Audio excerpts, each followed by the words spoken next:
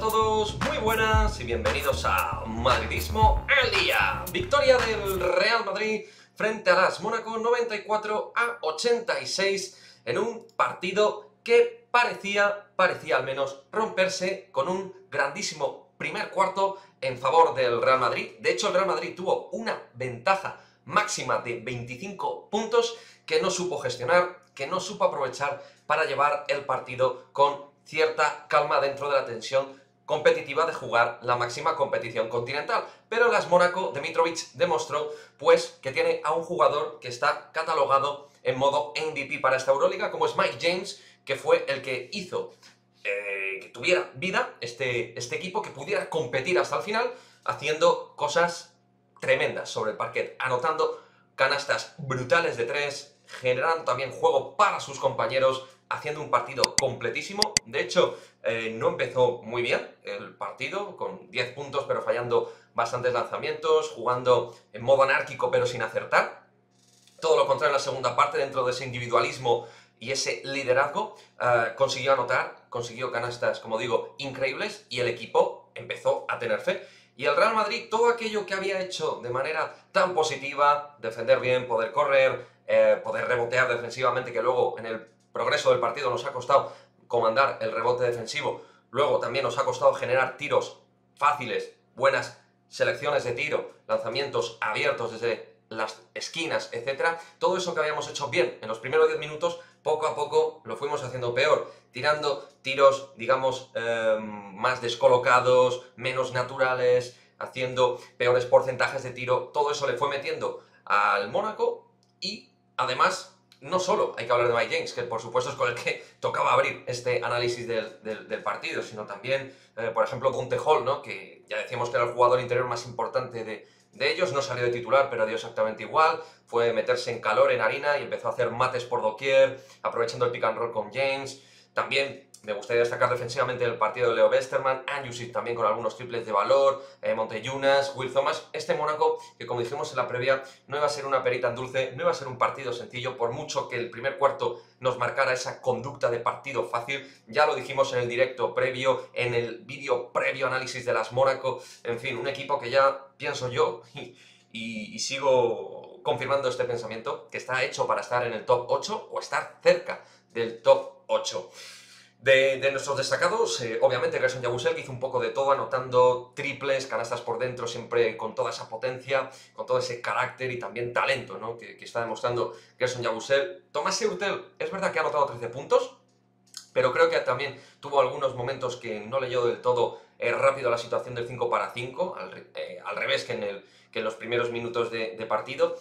tanto Poirier como Tavares no han hecho mal partido, pero tuvieron fallos de, de precisión eh, reboteadora, de semiganchos fallados Tavares, por ejemplo, un poco absurdos. Creo que el equipo se le vio eh, con bastante ansiedad, sobre todo en la segunda parte, viendo que se acercaba el rival. Eh,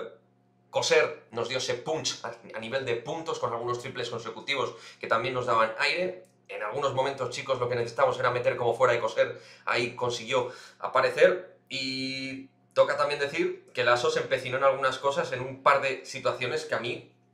bueno, tres concretamente, que a mí me llaman la atención. Una, me sigue pareciendo un error tener solo a tres pivots en una convocatoria. Por mucho que tengas fuera a Tompkins y Randolph, no metas a Tristan Buxevis, porque si tienes problemas en forma de lesionados o en forma de, lo que sea que pueda acontecer en un partido, eh, en forma de faltas o lo que sea, pues no tener a un cuarto pivot es un error, por mucho que no confíes mucho eh, actualmente en Tristan Buxevic, pero le tienes que tener ahí. Luego, Nigel Williams-Goss hoy hace un mal partido, le metes más de 15 minutos, no das una oportunidad hoy a Carlos Alocén, que es un tipo que rompe partidos, desequilibra balanzas a nivel defensivo rival, también es un tipo que te puede trabajar la defensa sobre eh, atacantes de, ellos, incluso cambiar la defensa con Mike James, no, no lo has probado, en fin, eso me parece un error. Y luego con Jeff Taylor, que en ataque ha sido tremendamente negativo por, por momentos, al margen de un par de triples, realmente el balón le quemaba y, prácticamente atacábamos con cuatro, ¿no? Algunos momentos de, los eh, segundos 20 minutos de, partido tras esos problemas de rodilla de,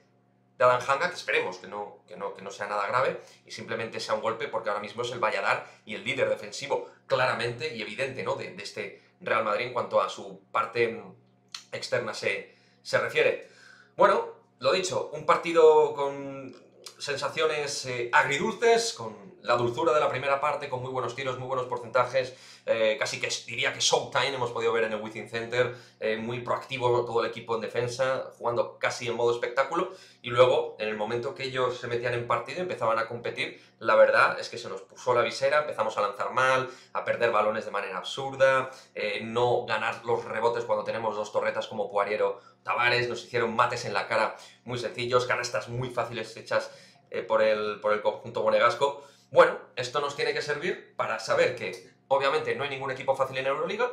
Dos, hay que saber administrar las ventajas. Y tres, que eh, el equipo tiene puntos de fatiga que el entrenador tiene que saber controlar. Ya Busel le hemos visto, sobre todo en los cinco últimos minutos, yo lo he visto bastante cansado. Al final ha jugado prácticamente 30 minutos y como ya dije hace un par de semanitas, pues es algo que tienes que controlar porque Tompkins hasta final de octubre parece que no va a jugar, lo de Randall todavía queda bastante, eh, entonces es un elemento, la rotación del puesto de 4 que tienes que,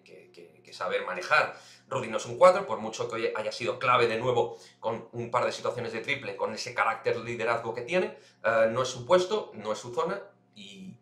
y ahí eso, eso creo que ahí se empecina con tener tres pivots en rotación y no cuatro. Tienes que tener cuatro, dos cinco, dos cuatro. Creo que eso es de perogrullo. Tienes plantilla para ello y dale un voto de confianza a, a al menos que te dé una rotación de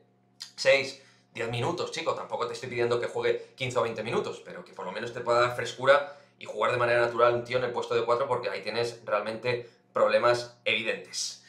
Así nos quedamos con este resumen del partido, con esta victoria del Real Madrid 94-86. Próxima parada, ya sabéis, frente al Panathinaikos, en lo que será un partido bastante duro con un Panathinaikos que está sufriendo. Iremos con la previa, también los detalles del equipo eh, griego, cuáles son los grandes peligros. Pero bueno, victoria importante, muy sufrida, más sufrida de lo normal tras como iba al principio del partido, pero ya hemos visto que ante Mike James cualquier cosa podía haber pasado.